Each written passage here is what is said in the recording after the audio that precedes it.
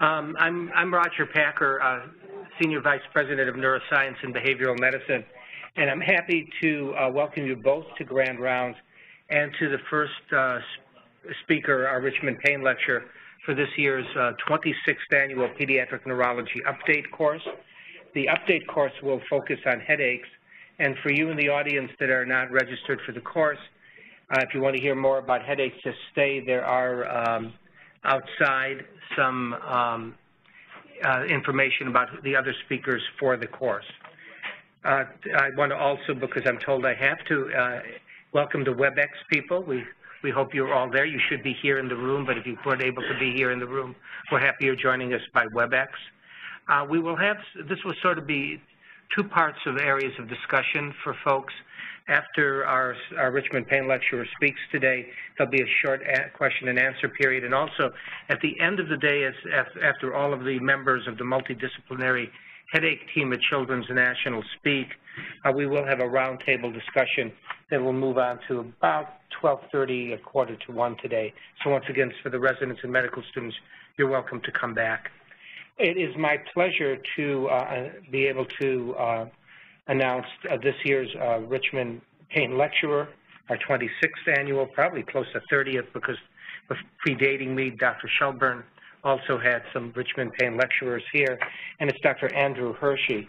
Dr. Hershey is really an international leader in pediatric headache, training at WashU in, in St. Louis, we heard yesterday how he got into pediatric headache. We all thought when we were training that Arthur Prensky's best, the most important thing was headaches, and he was sort of forced into the entity and then turned it over to Dr. Hershey to, to help develop the program at WashU, and then moving over to Cincinnati. Dr. Hershey has, has had multiple publications in pediatric headache, has written books and chapters, and he's also recently been the um, uh, the PI for the CHAMP study, which I think you might speak about a little bit today, I'm not sure, which is the largest prospective study looking at preventative uh, ways to try to treat pharmacologically migraine and maybe overcome some of the placebo effect that has sort of hurt other studies. He may speak a little bit about that. But he certainly is an international leader in pediatric headache. He also trained Dr. DiSabella, although I think he avows any real responsibility for that. But Dr. DiSabella, who runs our headache program and will be coordinating the rest of the program. So it's tr truly my honor to uh, introduce this year's Richmond Paine Lecturer, Dr. Andrew Hershey, and he'll be speaking on how genetics and pathophysiology can help determine treatment choices in headache. Dr. Hershey.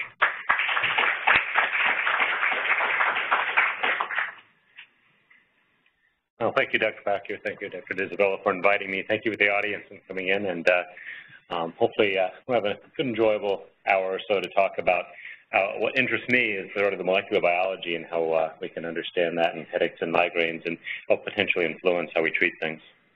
Um, sort of the uh, uh, ever-present disclosure slide, really just talking about the uh, different involvements that I'm, I'm involved with. I'll let you read through that. I won't read through it myself. So as far as the objectives of what I want to talk today is really help to recognize pediatric migraines in, in adolescents, young adults, and, uh, and pediatrics in general. Incorporate sort of an understanding of the basic pathophysiology, including the genetic components to it. Um, obviously, in an hour, we're not going to be able to contact the full depth of the and breadth of pathophysiology, but give you enough of a taste to sort of maybe help uh, incite some of you to consider treat, uh, uh studying headaches and advancing our field, but as well as understand how you can incorporate that better understanding into your management. Um, employing some multidisciplinary or multi-level approaches. So why study migraine? Um, as we look at migraine, there's we can actually break it into multiple different parts, including the disease characterization, sort of understand why a migraine understands and exists as a migraine, some of the potential underlying pathophysiology, of what makes a sensitive brain, some of the changes that may occur in people that have frequent headaches or underlying associations such as menstrual-related migraines. And then, then uh, sort of I'll finish up and, and, not talk about the outcome and progression, but more some of the treatment aspects and some of what we understand about the migraine pathophysiology that can we incorporate into understanding why the treatments we choose, we choose. So as far as the disease characterization, um, I know Mark's going to talk about more of this as he goes through the uh, the characterizations, but to just get everybody sort of on the same page is what do we mean by a migraine? A lot of people think they can recognize a migraine. A lot of people, they, they recognize something they don't think is a migraine when actually it is. So to help resolve all that, the International Classification of Headache Disorders was developed um, and is now in its third beta edition. It divides headaches into two main groups, uh, the primary headaches, which are headaches intrinsic to themselves as the disorder, which includes migraines, uh, tension-type headaches, the trigeminal autonomic cephalalgias, which people may be more familiar with cluster headaches, but it falls under the TACs, and then other primary headache disorders. Um, and then there's secondary headache disorders, or headaches uh, that are caused or associated with something else.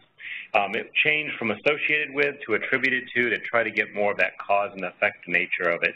Um, that really it should be the cause, and if you treat the cause, the headache should go away. If you treat the cause and the headache doesn't go away, then you have to reevaluate what that potential diagnosis may be.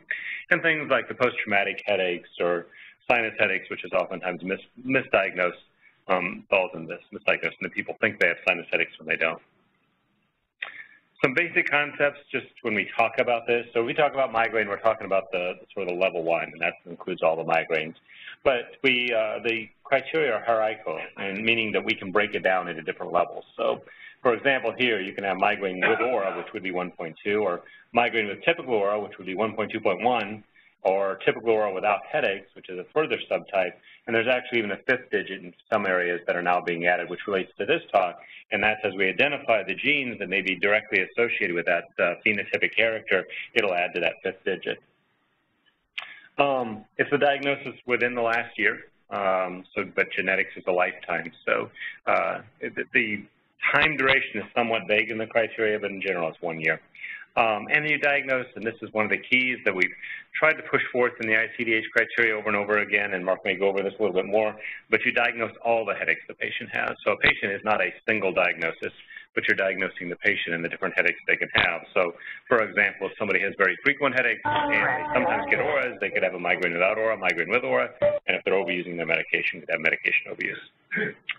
Um, and they can have both primary and secondary headaches. So if the headache looks like a migraine, you can diagnose it as a migraine, but if it happens after they've had a sport injury, it could be a post-concussive headache. So they could have an acute post-concussive headache and a migraine. So, uh, and then not every headache they have to have has to meet all those criteria. Again, you're diagnosing the patient, not the headache.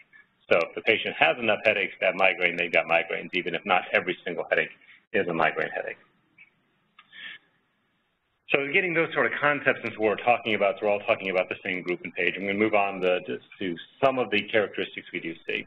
And I won't steal all of Mark's talk, but uh, part of it to talk about a little bit is specifically focused on migraines. So as we subclassify migraines, migraines really can be subclassified into multiple different types. The, the typical one is the migraine without aura, and I'll, avoid using, for any of you that are used to common and classic, uh, nomenclature. We don't use that anymore. We're trying to really get away from it. It's really confusing. Um, hopefully we've successfully done that. So it's migraine without aura or migraine with aura. But then the migraine with auras have multiple different subtypes that can be included in there. Um, what you won't see here anymore is basilar migraine. Uh, that's really been removed. It's recognized that it's really an aura. Uh, it's a brainstem aura, and uh, really don't need to worry about the basilar artery anymore um, as that part of it. And there's some, some interesting pathophysiology that's been demonstrated with that. Uh, there's also chronic migraine, complications of migraines. Um, and then the sort of in the ICD-3, one of the things we changed um, was that we went ahead from childhood periodic syndromes, which many of you have heard, to changing it to episodic syndromes that may be associated with headaches. So I want to get more words in there, but the other reason was that the recognition that it's not just kids that can have these episodic syndromes, that adults can also. So it really to remove the childhood part of it and recognize and expand it that the adults can actually learn from those of us that take care of kids. Um, so what is a migraine without aura? I'm going to talk about just three of the diagnosis and, and, actually them fairly briefly, but again, to get everybody on the same page of what we're talking about. So when we say ICHD migraine without aura, we're talking about they have to have at least five attacks over the past year, so they don't have to have a lot of attacks. Um, they should last 4 to 72 hours untreated.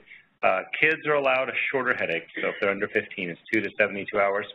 Um, but we include sleep of it. So if a child goes to sleep with a headache, the headache really is not technically considered gone until they wake up without the headache. And so it's actually fairly easy to get the time duration, although a lot of people argue that kids' headaches are shorter. Um, we're actually finding that we can get the time duration fairly easily, and I'll show it a little bit in a few minutes. Um, they have to have two or four characteristics. Um, the term migraine actually comes from ancient Greek. Uh, so Galen actually coined migraine for one-sided headache. Uh, so the classic definition for adults is it's a one-sided headache. In kids, it's actually more often frontal or frontal or bitemporal. Um, so I think that really, and we've argued a lot, that it should be focal, not unilateral. But it's the typical throbbing. It doesn't have to be severe. It can be moderate, and it does seem to change the kid's activities. And the need to have either nausea and or vomiting or light and sound sensitivity. For migraine with aura, there was a few changes that have modified it more to group everything under the, the bigger umbrella of migraine with aura. So there's six different types of, of largely reversible aura syndromes. Uh, the more typical ones are the visible or the visual speech and uh, and sensory ones, or the speech as we call dysphasic auras. Um, whereas the hemiplegic aura, the formerly basilar migraine or brainstem aura, and the retinal auras uh, are lesser seen. Um, the typical characteristics of the auras can be seen here, but usually it's, it's within 5 to 60 minutes um, of duration, starting at the onset or just prior to the headache, and needs to be fully reversible. The one that has the most difficulty with kids is being unilateral, because most of the kids we see with a visual auras, they're sort of over their entire visual field. Um, by definition, a dysphasic aura, so a kid that in the past some of you may call a confusional migraine. It's really not, they're not confused. In fact, if you ask the kids afterwards, they know exactly what they wanted to say. It was just what's coming out really sounds like gibberish. And I'm not going to talk about that, but if you're really interested in that, um, go to YouTube and go to Grammys stroke. There was a, actually a reporter that had one captured on uh, on video as she was presenting at the Grammys. Um, they thought she was having a stroke. She was actually having a, a dysphasia for her. But I use that oftentimes when I see my kids that are having a history of some of those dysphagia to show them what it's like. And they say, that's exactly what happened to me. And then the final sort from a diagnostic point, just giving cases, what do we mean by chronic migraines? Um, so chronic migraines, there's a, couple of different keys that have come out of ICD-10 One is chronic migraines trump chronic tension type headaches. So if somebody's got migraine features and they've got semi-frequent numbers of those that relate to migraines, you're going to call it migraine over chronic tension type headaches. So that's 15 or more headache days per month for at least three months, um, at least eight of which have migraine-related features, whether it's migraine without aura or migraine with aura, or the one thing we also added was even if the patient believes they have migraines. So if the patient thinks they have migraines and they have infrequent headaches, still counts as chronic migraines. So what do we see? Um, talking about, and this was actually, it's a few years old, a summer student actually came and, and reviewed our database. We've actually doubled the number since then, but it gives a nice trend of what we see and we can look at it over the years um, instead of just grouping it together. So the mean age group of the kids we see in the Cincinnati Children's Headache Center is about 12. Um, and uh, we can look at their diagnostic criteria. Mackenzie Miller was the summer student. She's actually now in med school, so that shows how far it's come along from when she was a high school student. So this demonstrates the frequency. Um, one interesting thing, and at the bottom of all these graphs is going to be their age. And what we can see here is, is the kids at least we see clearly have at least five headaches per month and uh, for over a year, and actually per month meet the criteria. But there's an interesting trend that the kids at least we're seeing are having more and more frequent headaches by the time they come to see us. And there is some selection bias that they're coming to see us, so obviously the frequency of the headaches is contributing to that. So these are kids with frequent headaches. If we look at the duration, and we ask three questions, we ask the duration. We ask what's your shortest headache, what's your longest headache, what's your average headache to try to help capture the duration.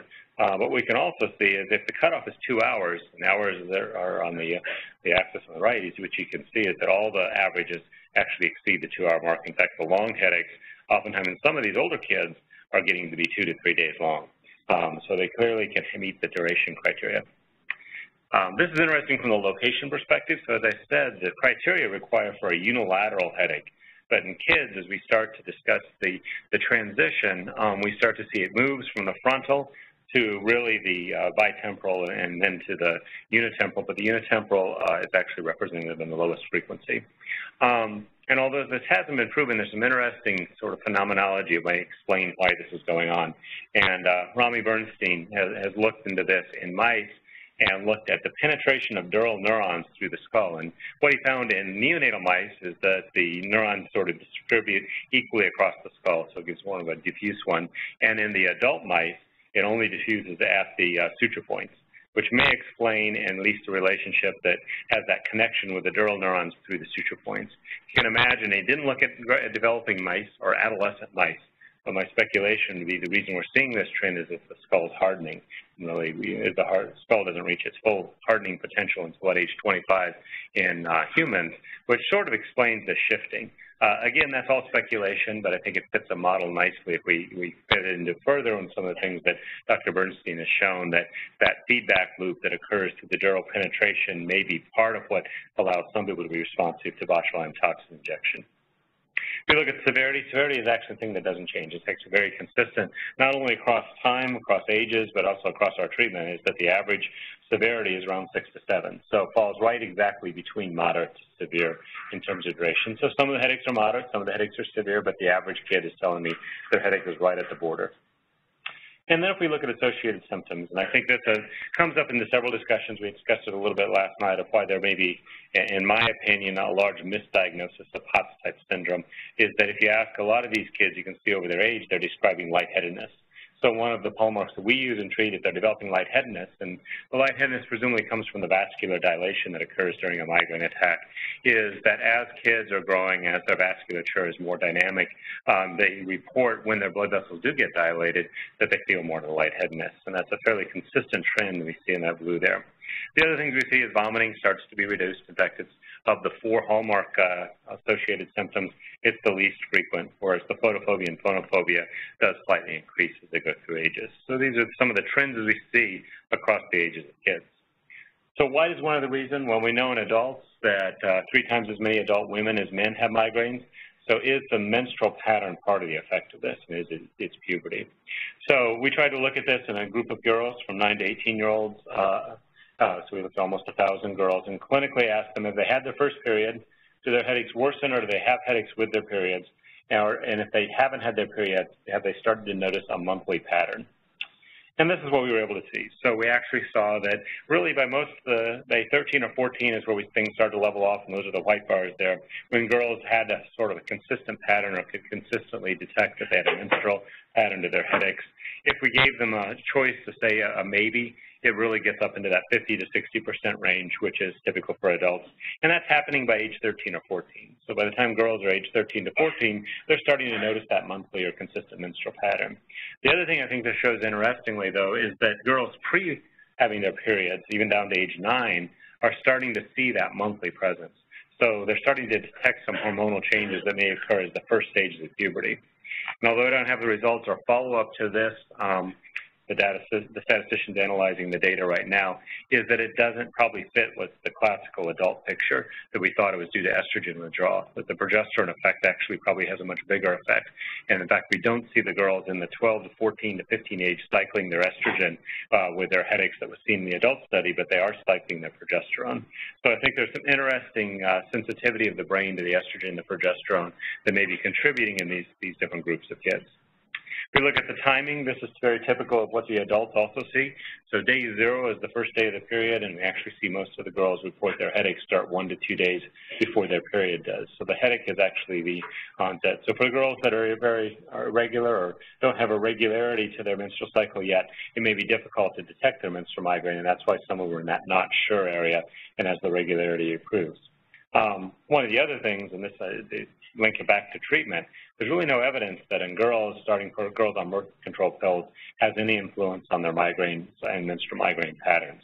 So uh, oftentimes we'll have uh, pediatricians come in and they've already started the girls on that, and there's no evidence that that actually helps. Um, and in fact, in some of the adult studies, especially if they have auras, it may hurt them by increasing the potential risk of stroke that can be associated because of the uh, birth control pills, although many of them are now much more lower in estrogen effects, so that effect's fairly minimal. Um, statistically, if anybody has sort of predate that question, the, the risk of a 20-year-old girl having a stroke is about 3 out of 100,000. If they have migraine without aura, it doubles to about 6 out of 100,000. If they have migraine with aura, it doubles again. Uh, so 12 out of 100,000. If they have birth control pills, it doubles again up to 24 out of 100,000. Um, and then if they smoke, it increases 20-fold. So we tell them really shouldn't smoke. The birth control pills, you can sort of say you are have a, a slight increased risk, but you need to be aware of that. So to take another step, we also looked at their genomic expression pattern, and this gets into some of the, the work we've looked in in terms of gene expression. So we looked at three different groups. We looked at those girls that were having an acute menstrual migraine attack, so they're having their menstrual period and they're having a migraine.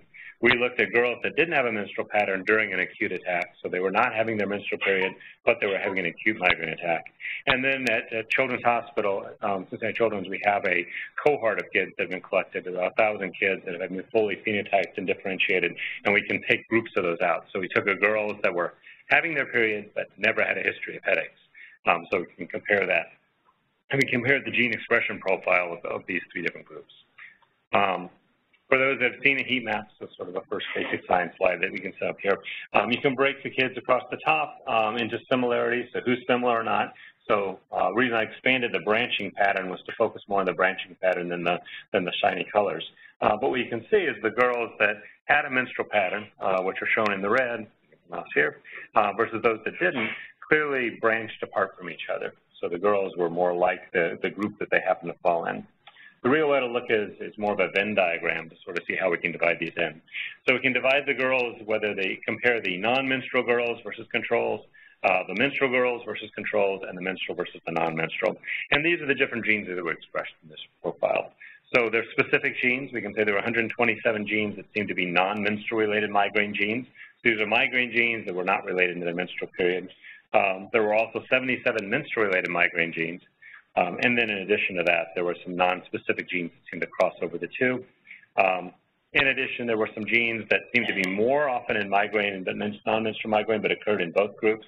And then finally, the 574, the biggest group, were just genes that were differentially expressed because of having a menstrual period itself, not necessarily a, headache. Uh, if we look at where these can cluster in, and this gives sort of insight to some of the different pathophysiological processes that may go on. Uh, for menstrual-related migraines, these included genes that dealt with mitochondrial function, oxidative phosphorylation, and, and metal ion binding. Uh, what does it mean? I think part of the reason for gene expression profiling is it gives us an insight of where to look next. And so I can't tell you exactly what it means, but historically we've known that there's been some factors of mitochondrial gene expression that have been associated with migraine, so it sort of fits that in that component. If we look at the migraines that were non-menstrual, we also see some of these also continued modifications, the glycophosphorylation, um, and uh, interesting, there's some adaptive immunity going on that may say why girls sort of get into this pathway of having more and more frequent headaches as well as the boys. And then for the menstrual genes themselves, um, we can also see are they the overlapping genes, whether it's a menstrual migraine or not a menstrual migraine, we again see some mitochondrial genes um, as well as some RNA and DNA changing. So the next, and uh, we've done the study now in kids. This is, I can't, because I don't have the final report yet. and I don't know the data from it, but I can talk to you about Vince Martin. He's uh, an adult neurologist at Cincinnati Children, or Cincinnati, University of Cincinnati, that look at 21 girls, or women in this case, um, keep daily headache diaries as well as collect daily urine hormone samples. Um, one interesting thing in comparing the adults to the kids and the girls that we had do this, in the adults he said it took about 70 to 80 percent that they got sampling of. So these adult women were missing about 20 to 30 days uh, per month where they did, or 20 to 30 percent of the days per month where they didn't collect the samples. Um, our girls, when we did it, they were at over 98 percent. So they were collecting urine samples every day for four months. Uh, we actually need it for three months. We had them collect it for four months because we were thinking about the waste for the adult women, uh, but the girls didn't do that. So we, we do have some very clear cycles. But this is what Vince saw. Um, so if you looked at this, what we can see is uh, there's, there's several different peaks. Um, just to walk through this, so this is the day of the menstrual cycle. And there were different periods, and this was the risk of having a headache at the different times. So right during the menstrual period, and then it dwindles, dwindles down, and then right before the menstrual period, when the menstrual period appears here. So we looked at the odds of having a headache based on your hormonal level. And the suggestion was here that was when this estrogen withdrawal occurs, which has been historically seen in adults, is what's triggering it. The reason I show this is what it looks like we're seeing in the kids in the girls in particular, it's not the estrogen withdrawal, it's the progesterone, because the girls don't show this, this estrogen cycling pattern, they show the progesterone pattern. So we may be able to learn from the kids what the adult study really means. Um, so this is just the study I talked about, and again, well, this should be coming through. Um, the uh, Tim Houle is actually doing that out analysis from us, just moved from Wake Forest to, to Harvard, and so he's in the midst of a move, so it got delayed a little bit. I was hoping to be able to show you those slides. And he emailed me apologetically on Monday and said he just doesn't have the graphs ready for it yet. So um, I apologize for that. So looking at the underlying pathophysiology risks, so that's sort of what happens during a migraine or during a menstrual migraine. So why are migraineurs like that? So is it genetic? Um, my belief is yes, it is genetic, and part of that I'll show you now. We ask our kids, ask our families. 84% um, of the kids we see clearly know that there's a headache history in the family. They're a headache family.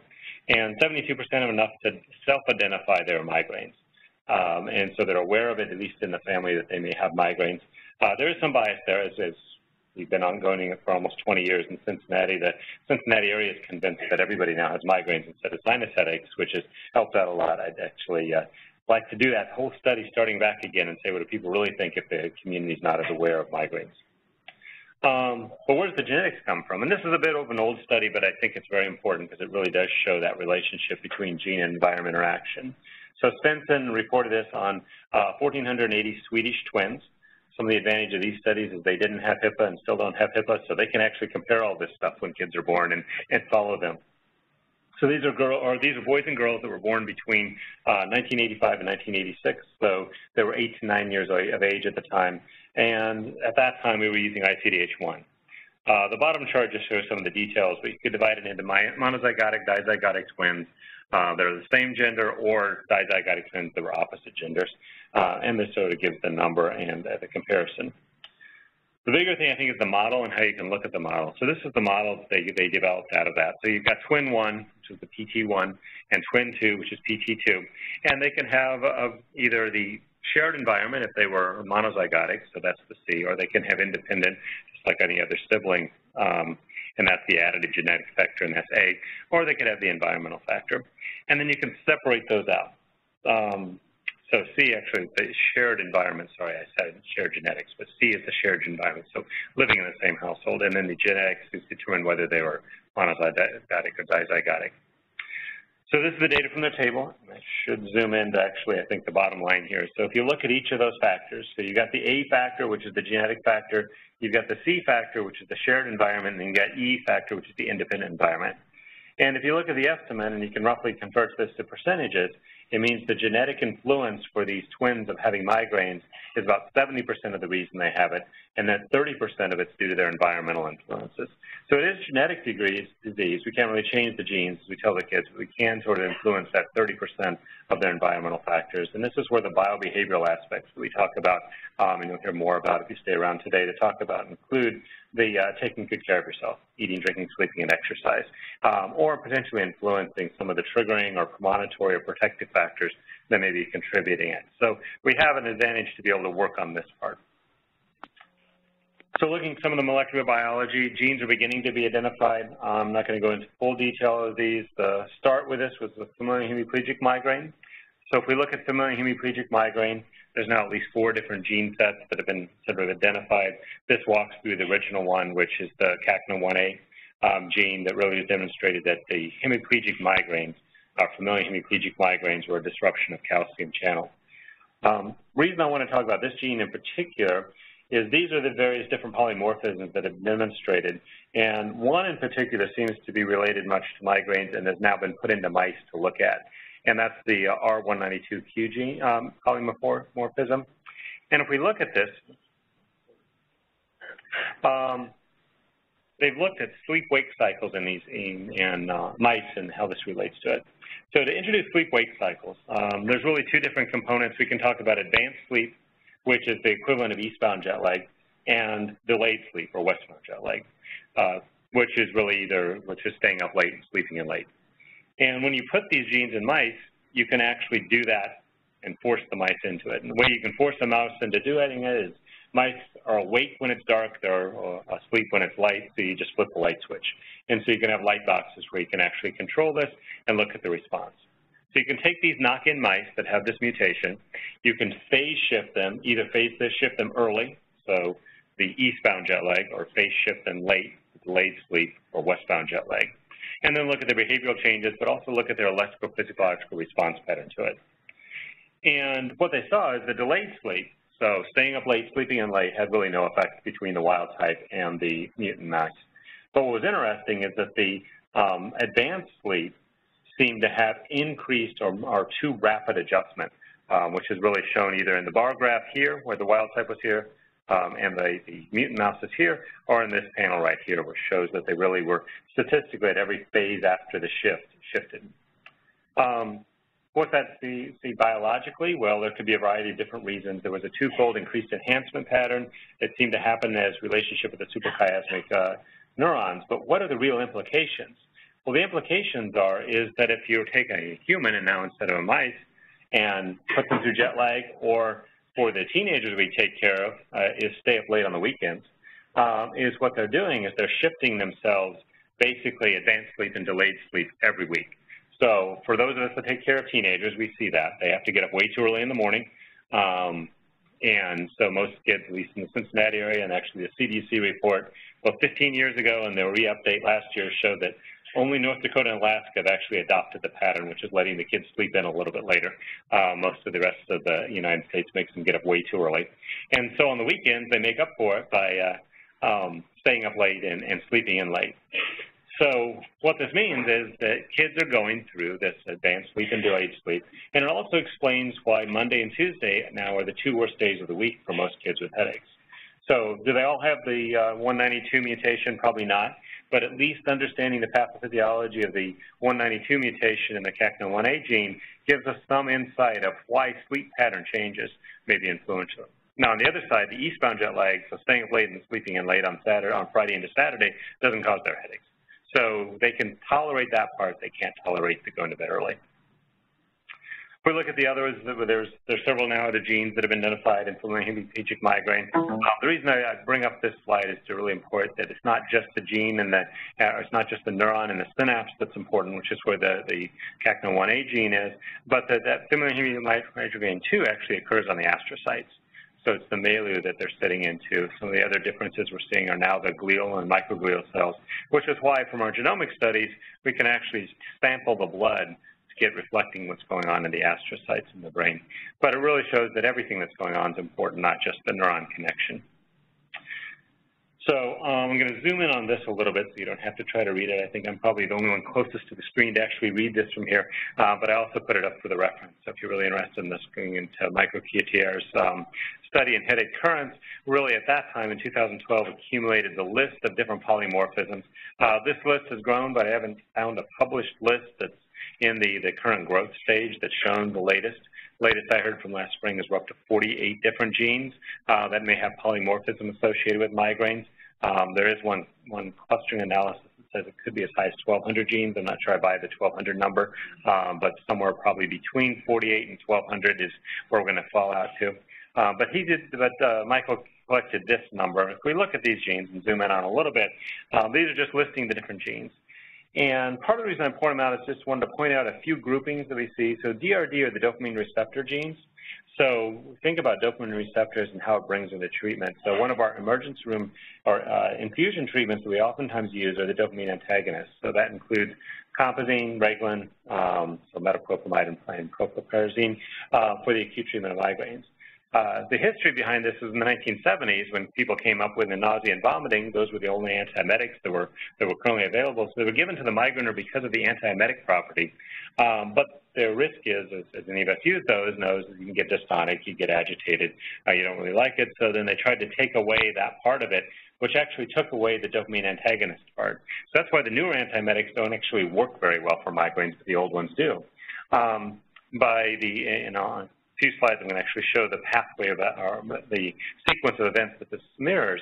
But I think it's important to recognize that now we're identifying that polymorphisms in the gene, the dopamine receptors may actually be a contributor to not only why they're having migraines, but also explain why they may be responsive to some of the treatments, as well as potential side effects.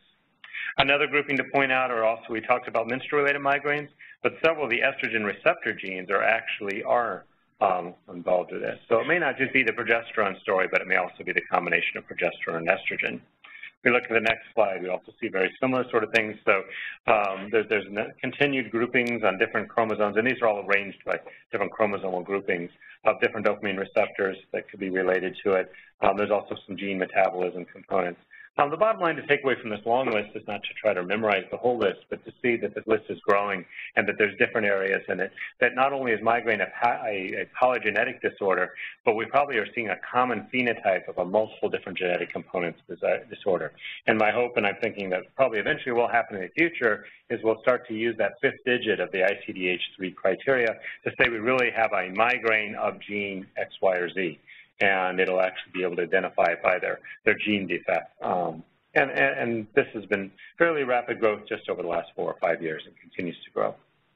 Um, and then I just, for completion, included a GWAS table. Um, I think the gene polymorphisms may give us a little bit more insight.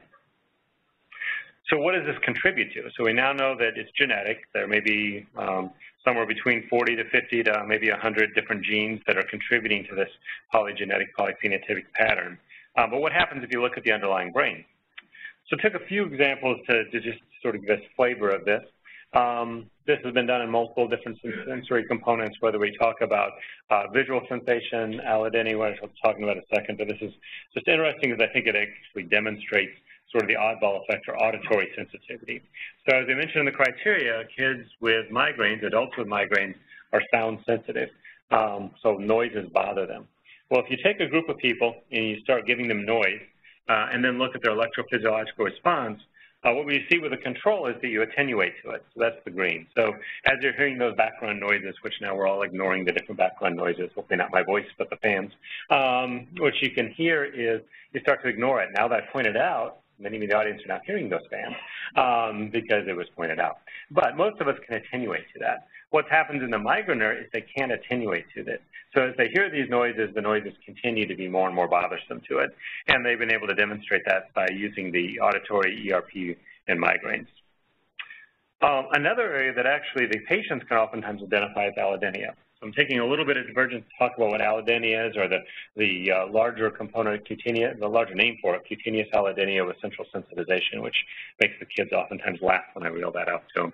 Um, unfortunately, I asked them at the follow-up visit, so what do we talk about? And I think I've had three kids actually word say that it was that A word and that's about as close as they've come. But I still talk about allodynia in all of them because I think it's an important understanding.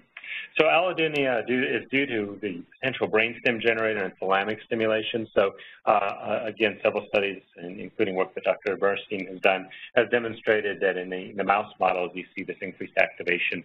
Um, he does it with something called an inflammatory soup on the brain. Um, they can be two different levels, activity dependent, which is in initial stages, uh, and when they looked at the correlation in adults, this is the first sort of two hours of a migraine attack. Um, and then there's activity independence, So meaning that if you get past that two hours, the allodynia sort of is, is independently functioning by itself. It no longer needs the migraines to have this increased sensitization. Um, there's a few observations that have been made for this in migraines. So and Matthews looked at this in 2004 and really demonstrated that as people have had more and more migraines, uh, their increased their chances of having allodynia goes up, and that it was really having 10 to 15 uh, to 20 years of migraines. This was argued that kids then couldn't get allodynia because if it needs 10 to 15 years to really get to that point that over 50% of the population has migraines, kids just can't be old enough to get that. And I actually dispute that, and I'll show that in a second because, well, this is what we demonstrate. So we ask kids about allodynia symptoms. Um, and these are things like, does it hurt to comb or brush your hair? Does it hurt to touch your head when you have a headache? Um, for girls, actually, the most sensitive one is, does it hurt to wear a ponytail? So for all those that take care of girls or all the females in the audience that have had ponytails, um, it's not the ponytail necessarily causing the headache because you can be wearing the ponytail, you get the headache, and then you have to let the ponytail out, whereas other times you don't have it. Um, that's, that's completely different too. There's a, a subtype of headache, which I'm not going to talk about today, called the, the ponytail headache, but that's a different headache. Um, it's actually very interesting. It's, it's in, in, different areas of the world where they've got very dense long hair. They seem to have actually a traction effect that's causing that. Uh, but these are normal girls that we see in the United States that don't really, may not have that really dense thick hair that's contributing to it. In boys, uh, actually wearing hats seem to be the most sensitive one, um, which if the boys don't wear a hat, then oftentimes they get missed about being able to pick that up. Uh, just for, completeness sake, if you are seeing adults and adults that actually, adult women, what they were able to find is the most sensitive ones are wearing earrings or necklaces uh, for women and shaving for men. So actually the, the act of shaving during a headache um, can be allodynic. But the takeaway from this slide is we can see as the kids kind of get older, we see more and more kids. So we get to that 50% mark by the time kids are in their mid-teens, and then it continues further. So the kids are developing this allodynia much more sensitive. Why is allodynia important to understand the treatment paradigms? Um, well, this again also, uh, I referenced Rami quite a bit, but uh, I think I respect for what a lot of his pathophysiology, and he's done a lot of the pathophysiology aspects. Um, this is just, and I'm going to focus more on the middle slide, um, the heating and cooling, because we've actually done these with kids now. Um, what this shows is you can tolerate, and if you put people, if you warm up their with a probe. Uh, most people can tolerate up almost up to about 47, 48 degrees centigrade uh, or Celsius um, a warming before that warming starts to become uncomfortable. Um, if you cool them, you can also cool them down to about 16 or so degrees. Uh, if you start during a migraine attack and you treat them early, they, they become allodynic, so they start to notice that. They start to get into this pinker area. But if you treat them very early, they can pop out of the allodynia. If you wait to treat them, however, they remain allodynic, so there's sensitivity. So early treatment is explained by, partially by the allodynia. So what we did is we looked at some kids. So we looked at 406 um, kids uh, between the ages of uh, 6 and 18. Uh, so we looked at pre-adolescence, early adolescence, and late adolescence, and we did the quantitative sensory testing. So we did the same sort of testing and measuring their temperature.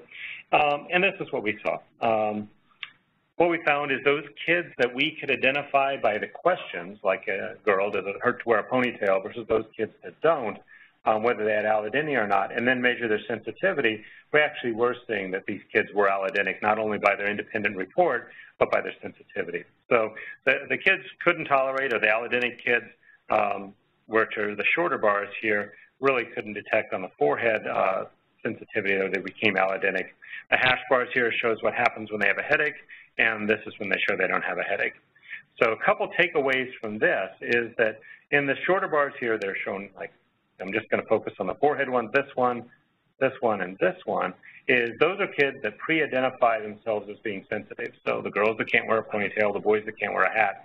But not only were they sensitive to temperature changes when they were having a headache, which is this one, but also when they were headache-free. So even though they're not reporting that a ponytail bothers them or to wear a hat and they're not having a headache, they're still just as sensitive. So this allodynia may be ongoing and it becomes strengthened or, or increased further. I forgot I did those animations. So now we can subdivide those. I'm just looking at, these are just the kids that self-report allodynia. And what we can see is a variety of different things. Um, if we look at, and these are some of the different factors that people have asked about what happens in adults. So if we look, and again, the shorter the bar, the more allodynic they are, um, because this is all the cooling effect. The kids were more sensitive to the cooling than the warming. And we can see the girls, which is the purple right here, which are much more sensitive than the boys. And so it's not only having the ability to wear a ponytail, um, boys, some of our boys had ponytails too, um, but the, the fact that the girls seem to have more, more allodynic sensitivity that's developing, uh, which then continues sort of build on this theme that adult women teenage girls are more likely than the boys to have migraines. The estrogen progesterone effect may be a contributor, but also the girls seem to be more allodynic. Um, if we also look across the ages, so this is the prepubertal, pubertal, and postpubertal kids, we saw that as kids proceeded the ages. So we've gone away from the self-reporting to actually be able to test them, and we can test them now with these quantitative sensory testing.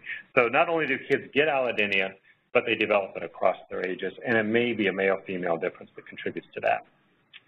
Um, this is just the summary that you can do a global assessment of allodynia um, by asking this, these simple questions. And the questions we usually ask is for the girls, does it hurt to wear a ponytail? Does it hurt to comb or brush your hair? For boys, we ask about combing or brushing your hair.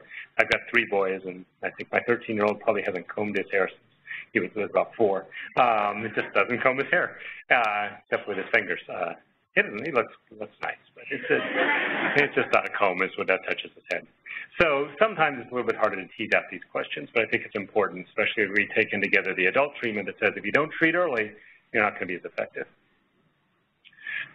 So what are the underlying physiological barriers and understandings? Well, migraines do, do have a genetic basis. They're a sensitive brain.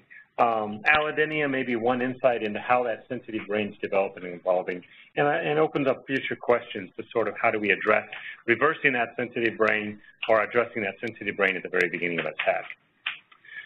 So what happens during a migraine? To review some of these uh, components. Um, in 1995, these were volunteer medical students in Germany. So you're a medical student, you want to pass the class, you volunteered for doing the study.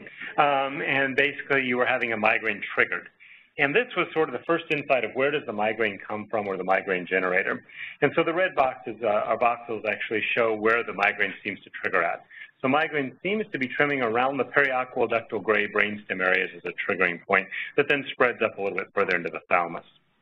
Uh, Michael Welch then sort of extended this um, and using high resolution at the time MRI scanning uh, was actually able to focus on and show that part of this activation or that the activation occurs in the periaqueductal gray. And um, not walk through all the colors. The, the basic idea was with this is they looked at iron deposition. And the reason to look at iron deposition, if migraine has an inflammatory process that's going on, the blood vessels have dilated. We talked about that a little bit, why kids feel lightheaded. And when the blood vessels dilate, they leak. When they leak, the red blood cells go out of the blood vessels. The body reabsorbs everything, but the iron's left behind. So you can look at, at the stages of chronic and brain inflammation to look at areas. And what they actually found was the periaqueductal gray seemed to be accumulating these iron depositions. We can look at it graphically, and, and the concerning point for this, and why I think it's, it's important to recognize migraines early in the stage rather than the later the stage, is if you look at the number of years that people had a headache and their frequency of headaches, what be able to see is this line is in both cases, whether it's episodic migraine or chronic migraine, is upward going. So the longer you've had migraines, especially uncontrolled migraine, the more iron deposition that you have and the more potential you have for refractory or more difficult to treat headaches. So this is sort of insight that, that really understanding the imaging pathophysiology recognizes the reason it's important for all of us to take care of kids, to say it's important for us to recognize the migraines early and try to take care of them so they don't become the refractory adults that, that have to suffer from migraines. Um, moving on to some of the studies, that we also look at the sensitive brain aspect and what's going on. So we have a magnetic encephalogram machine, or a MEG, that looks at the magnetic activity that's going on during the brain. We use this for our epilepsy patients. We use it for some of our um, autism patients or our cerebral palsy patients. But now we've also looked at, at migraine patients. And actually, for the last 10 years or so, have started studying migraine patients and what happens in terms of the magnetic activity underlying the brain. Um, so there's three stages of HAPS. The one I'm going to talk about initially is during the acute stages. So what we're able to do is, is using our infusion and our inpatient unit is when kids came into the hospital with an acute severe migraine, between sort of treatment doses, we said, well, you mind if we stick you in a MEG scanner and look at what's happening to your magnetic activity and really assessing your brain functioning during an acute migraine attack. Um, the one we're going to, I'm going to show you some data from is we used a finger tapping technique. And what this technique is, is that kids are wearing headphones in the MEG scanner. They hear a click, either in the right side or the left side. And when they hear the click, they're supposed to tap the finger on that side that they hear the click. And so we can measure the time period as well as the wave pattern from the time they hear the click to the time the action occurs or the, the tapping of the fingers. And then we can compare the two. So what happens, they hear the click, they may have in the right or left ear, and then we see a wave pattern that develops. And the wave pattern has basically three different waves. This we look at the first wave, second wave, third wave after the blue line that shows the click. If we look at, it, and this is just one patient, one migraine and one control, so they do 200 different clicks. You can see if we line up the click, the triggering point, what you can see is that the migraineurs actually have a delay. Um, numerically, this is a 40% delay. So the brain is functioning 40% slower during the migraine attack than when they're not having a migraine attack. It's obvious to the kids because they say, yeah, when I've got a migraine, I just can't think. It's hard to think. Well, we can demonstrate now why it's hard to think because your brain's not working. Um, if we look at what happens, and this is some of the good news of it, is that, that ictally the kids are slower. So this is the latency. It takes up to 40 milliseconds to get the first, first uh, wave to occur. Um, but between attacks and compared to controls, they normalize. So at least the kids during the acute headache attack um, seem to be able to recover from it. Um, the study we're currently doing with the MEG, and uh, we're down to five more patients we've got to enroll, um, is we're looking at what happens to these kids that are having a headache every day. Because if you're having a headache every day, is it really slowing your thinking, and is that more important to get that reversed? we can look at the second latency or the third wave and the, uh, the second and third wave, and seen universally. So the whole pattern is shifted. So it's not just that initial delay, but each stage of the delay, there's a progressive shifting, and that's why during the, this is just right ear and left ear, so you can merge these two together, but each one has a cumulative effect. So every stage of hearing the click to getting to the tap is delayed, um, um, typically about 30 to 40 percent. The other advantage of MEG is you can actually localize where these, some of these delays are occurring. Um, so if we look at the colors, if you look at a normal person when you're hearing the click, these are the different ages, uh, the wave one, two, and three that sort of get triggered across here. But if we look at the migraineur, we can see there's a much larger. So the migraineur is actually having to incorporate a lot more brain structure to be able to accomplish the task. And uh, if we combine all these into one, this is an example. So if we look at a normal control, they really only need to use about this part, much part of their brain to do the clicking task But if you look at a migraine it actually has to overlap to the other side. So they're actually having to incorporate almost twice as much of their brain to just simply tap their fingers when they hear an auditory response. So there are pathophysiological changes that seem to be occurring both in chronic and acute migraines. The chronic part with iron deposition, the acute migraine, they've been able to demonstrate with the neurophysiological changes. So how can we imply treatment and develop treatment into this? So for acute treatment, um, this is what the patients want. So patients obviously want their headache gone and they don't want it to come back. Um, not all our medicines can help doing that, but we've really got two groups of medicines we can look at. Uh, this is the list from a review. Uh, I used this old slide basically to show up that hasn't changed all that much. We've got the 5-HT1 agonist and the NSAIDs that are probably the two bigger ones to do. We look at inflammatory changes. Um, again, this goes back almost 15 years. If we looked at three different inflammatory markers, uh, during a migraine attack, all these inflammatory markers go up. The bottom line is migraine does have a secondary inflammation. So how do you incorporate that? Well, you compare ibuprofen versus acetaminophen in kids. So you've got a non-steroidal anti-inflammatory versus one that doesn't have an anti-inflammatory response. So when Dr. Hämäläinen did this using eight-year-old kids, there's adult studies and older kids, but as a pediatric talk, uh, I'd like to go back to the youngest kids that we start with. So we look at an eight-year-old kid. This was ICHD1, so the original criteria. Kids had to have at least two migraines per month or two headaches per month in a migraine patient and exclude any sort of other disease that may be contributing. Um, gave some fairly healthy doses in this double-blinded randomized placebo-controlled study, so it wasn't underdose. So the, the, the acetaminophen dose was 15 milligrams per kilogram, the ibuprofen dose was 10 milligrams per kilogram. And what happened, the bottom line is that as migraines and inflammatory disorders, which you can see from the inflammatory markers, is that ibuprofen works. So ibuprofen is three times more effective in one hour. So within one hour, you had a three times odds of your headache gone, being gone if you took ibuprofen versus placebo. Tylenol by one hour had no effect. Uh, by two hours, the acetaminophen, the Tylenol had a two-hour, two was twice as good as placebo. So it did start to separate a little bit. There's things beyond anti-inflammatory that's contributing. But by that time, ibuprofen uh, was four times more effective, or nearly four times more effective, um, as well as being twice as effective as, as the acetaminophen. The other group of acute agents we have to talk about are the serotonin agents. Um, serotonin and its recognition of migraine starts out, goes back to the 1960s. And this is when it was recognized that during a migraine attack, there were shifts in the serotonin levels in the blood. So if you injected somebody with serotonin, um, their headache actually went away for about 15 minutes. And this led to the whole field of the development of the uh, triptans, or the 5-HT1BD agonist. Um, we look at the triptans, uh, we can look at where the 5-HT1B receptors are. Um, we talked about Michael Welch's work that showed that there's some periaqueductal gray activation, which we see here, as well as some, some more of the peripheral 5-HT1 receptors. So we can see the binding sites for the, the triptan seem to be associated with where the periaqueductal gray. Um, but we can also look at the genetics. So if we go back to some of those slides that I showed with all the different genetic lists, uh, one of them included the serotonin transporter. So we now know the serotonin transporter in the intronic region can have either short or long alleles. Um, and then you can correlate a genotype-phenotype components. And if you found that if you have the short allele, um, so if you're the FS type, you also had an increased frequency of headaches. So you, both groups could have migraines, but if you happen to have the FS type, you had more migraines.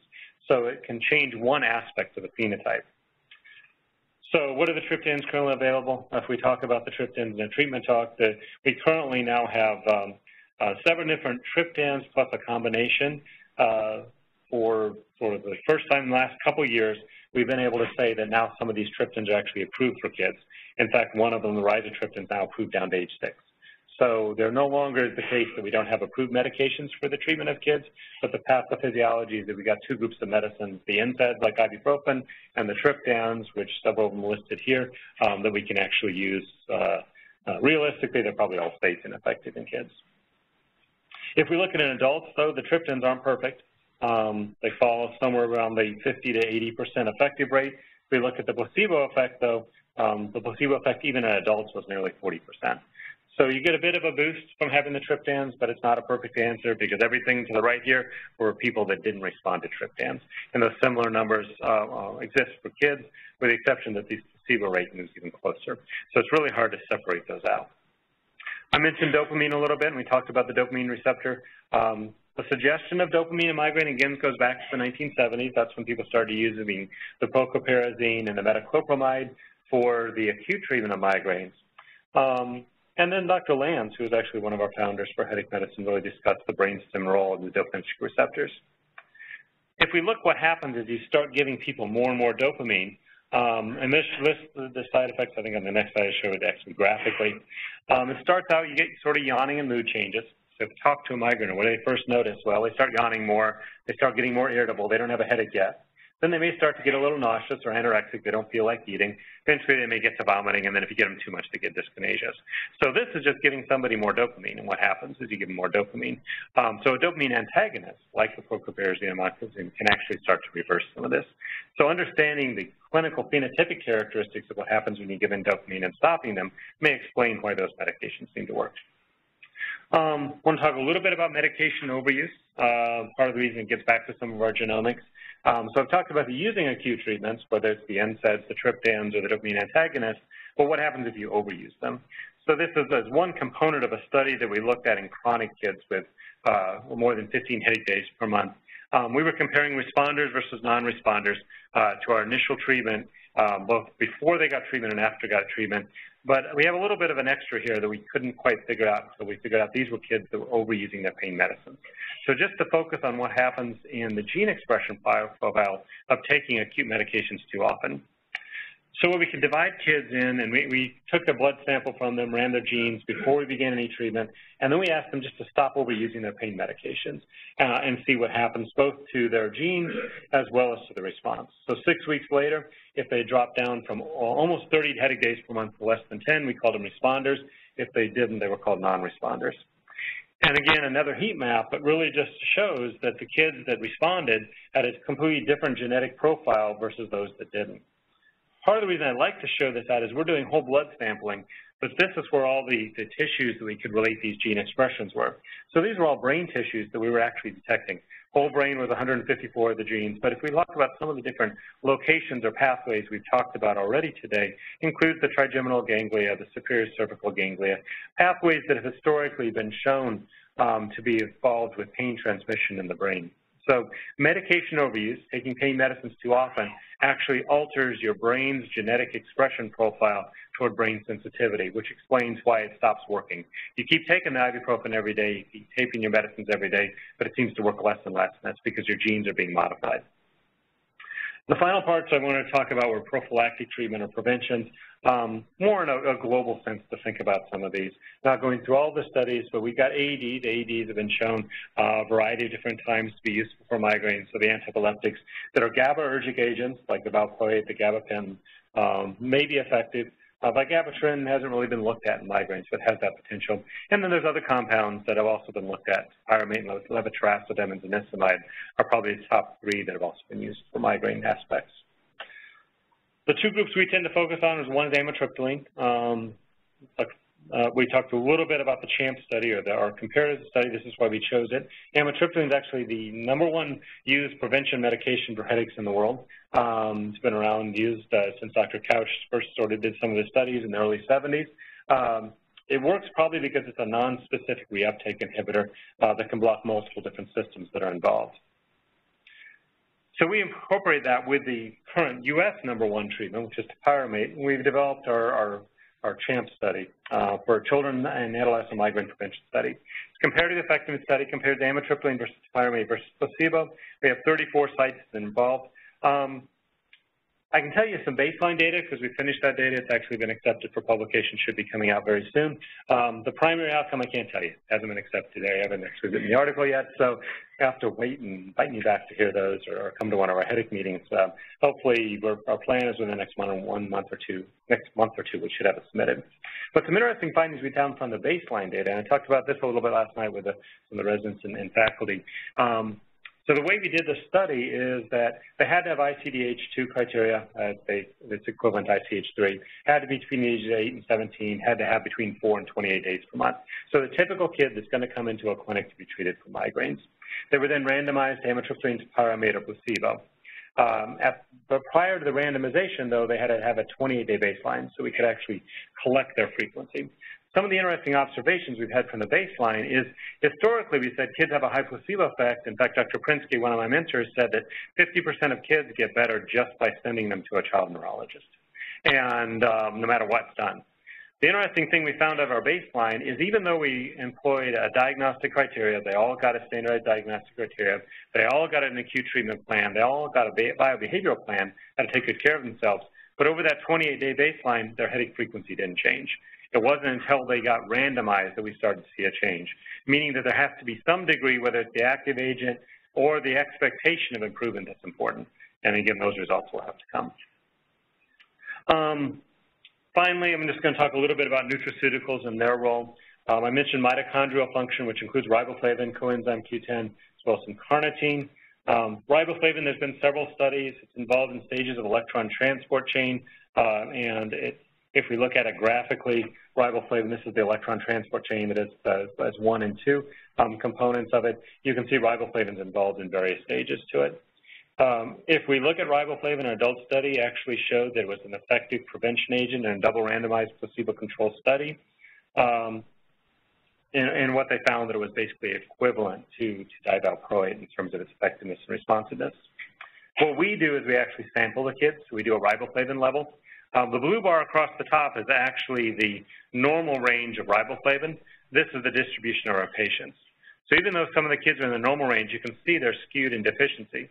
What's the primary dietary source of riboflavin? Um, besides stuff that it's added to, it's green vegetables. So we talked about it's important for kids to eat their green vegetables. We look at coenzyme Q10, also involved in two different stages, including its inflammatory response stage, as well as the uh, electron transport chain. Um, Todd Rosen did this study that actually demonstrated that it is effective to use coenzyme Q10 in the prevention. But similarly, and, and a we looked at the deficiency. So the normal range for ribo for coenzyme Q10 is 0.5 to 1.5. Um, Pre-treatment, the average of all the kids we see uh, that we start prevention on is right around 0.5. They really are overlapping at the very bottom of coenzyme Q10. Um, it's not on this slide, but we can actually know if you're below 0.3, 0.3, 0.35, you probably have some polymorphisms in your ability to produce coenzyme Q10. Uh, our body actually produces it. If you're above, above 0.4, but you're still deficient, you're probably consuming q10 faster than you can replace it. Um, and so to test this, we actually did a, a randomized placebo control study um, we looked at, and we actually was a crossover study. So if you look at the pink lines compared to the yellow lines, the kids responded very quickly to CoQ10 compared to placebo. But when we crossed them over, the kids that were getting Q10 that got placebo got slightly worse, whereas those kids that got placebo that got Q10 got better. So uh, in a crossover design, we did show that there was benefit to the CoQ10. Um, let's let those two. I just divided episodic and chronic. And then the final two nutraceuticals to talk about, haven't heard about vitamin D enough, we talk a little bit about vitamin D. It's been involved now in brain dysfunctions, including multiple sclerosis, possibly early dementia and chronic diseases. So we've started looking at it in, in migraine kids. Um, the normal range is, is, and there's a reason there's not a normal bar, is sort of in dispute, but if you look at it from a physiological process, you probably should have above 40 um, on that level. If you look at our kids, 70% of our kids are below 40. So kids are very deficient in the in vitamin D. So if we identify they're low, in fact, some of these kids are actually extremely low. There is some seasonal variation in Cincinnati. We, we do get lots of clouds in the in the uh, in the winter. So we do see that if we look at the levels in the, the winter months, which is, is, is uh, with those averages and total numbers, um, we look at the, the, dips here, and then in the summer it seems to come up and then it dips back down. But again, if we use 40 as the cutoff, and this is the total number of patients in each sample, we can see that deficiency. Um, the newest one we're looking at is folate. Uh, if you follow the field a little bit, there was a study recently shown that migraine with aura may be associated with folate. And if you look at the genes, the MTHFR gene seems to be associated with that. Um, we don't have any data for that, but uh, the, which is, I cut out that slide. So I was going to show a graph. It was just a blank slide, but we're starting to look at folate levels. Um, the last thing I really want to talk about is the importance of biobehavioral treatment and incorporation into treatment. We talked a little bit about you may have a sensitive brain. You can stress that sensitivity by altered sleep patterns. So that's why we talk about kids. It's important to drink plenty of fluid, get regular sleep, um, eat healthy foods, including the green vegetables that may have riboflavin in it, um, the dairy products that might have vitamin D. Um, but you may also need coping studies. So uh, our final study that I'm going to mention is our coping skill study for chronic migraine. Um, this is why I think it's imperative to have psychologists and behavioral therapists involved. We're actually able to demonstrate in, in looking at kids that are, again, our typical kids in a 20-week treatment phase or with a 12-month follow-up that they actually got better. And this is graphically what shows that. And what we can see is that in using these kids with chronic headaches, comparing controls, which is the dash bar, to the active agents, um, that within in, in 20 weeks, kids that had gotten, these were all chronic kids that got cognitive behavioral therapy, um, actually were doing significantly better. But even interestingly, at a follow-up 12 months later, they were still better. So even these kids in the dash bars were able to get cognitive behavioral therapy, but that early cognitive behavioral therapy is actually very important. I'm not going to talk much about outcomes. There's several different studies that I've listed here. We've looked at outcomes. Um, kids that don't come back are actually not coming back because they're doing better. So we don't need to get upset about kids that don't come back and follow up because they're doing well, and that's what, what Dr. Kabbouche's study showed. Uh, we're trying to see what happens in these young adults as they transition, how important it is to self-management and perception of their diagnosis to improve their outcomes. And then finally, really a question we don't have yet to answer is what happens to these refractory kids, the kids that aren't doing well as they go on, and how what happens as they transition into adulthood. So again, some future talks to come. So we can take these different components of migraines and hopefully through this sort of whirlwind tour of the pathophysiology and the treatments, we can put all these pieces back together and really have a better understanding of migraines. So I thank you for all your time. Um, hopefully you've learned a little bit about the pathophysiology. You can start to incorporate into your plan. But thank you very much, and I'd also want to just thank you all the people that have actually helped me out with this.